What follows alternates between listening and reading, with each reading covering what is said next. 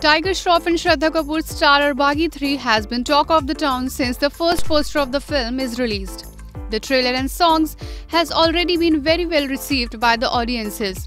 The duo were papped by the paparazzi on Friday as they visited a reality show to promote their film. Shraddha looked stunning in a sequin dress with puffed sleeves. The diva opted for middle parting and kept her hair open. On the other hand, Tiger looked dapper in a white t-shirt which he paired up with denims and black shoes helmed by Ahmed Khan, Baaghi 3 is the third installment of successful action franchisee Baaghi. The film is slated to hit theaters on 6th of March 2020.